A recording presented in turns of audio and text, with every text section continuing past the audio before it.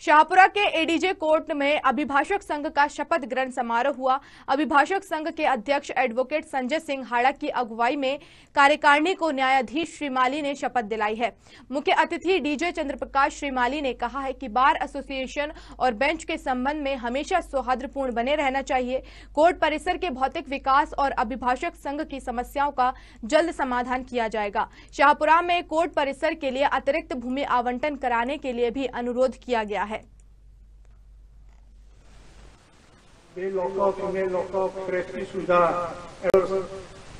इसके अलावा एडवोकेट्स के रिक्रेशन रूम है, दवा का रूम है पीपी एपीपी के बैठने की व्यवस्था है, उनके स्टाफ की बैठने की व्यवस्था है पार्किंग है फोर व्हीलर पार्किंग है टू व्हीलर पार्किंग है।